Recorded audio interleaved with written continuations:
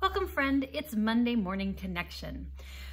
Oh, it is almost spring, or at least it's trying to be. Um, I have these beautiful Johnny jump ups in the yard, and they're so pretty and so joyful. I just can't wait till spring. So, in this morning's devotional, kind of was along that same line. So, I was thought I'd read it to you. It says, "Take the time." Oop, wrong one. Live outside whenever possible. Sun, air are my great healing forces, and that inner joy that changes poisoned blood to a pure and healthy life-giving flow. Never forget that the real healing of the body, mind, and spirit comes from within, from that close, loving contact to your spirit, to my spirit. I love that. So this weekend, uh, a storm was coming in. And so uh, right before a storm here, it gets really hot and humid and, and just pleasant.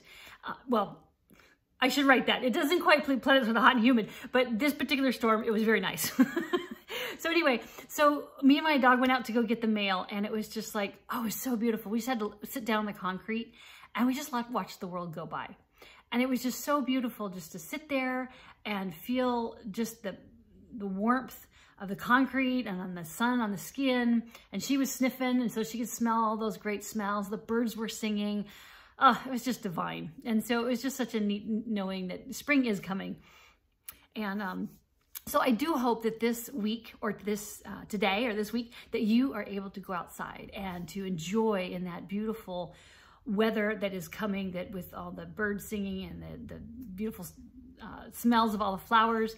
Um, and if it is snowing, there is a soft, quiet refreshness that the snow brings. And um, it's spring snow, so a lot of times they come, but they go off uh, quite, quite soon. So I hope you're able to do that this week.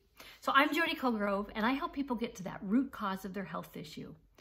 And when you do, then you're able to kind of say, okay, well, this is what's going on. Now I know what to do, and you can take care of it. And so that's why we say it helps you get clarity, you have energy, and you can live in peace. So I hope you have a blessed week.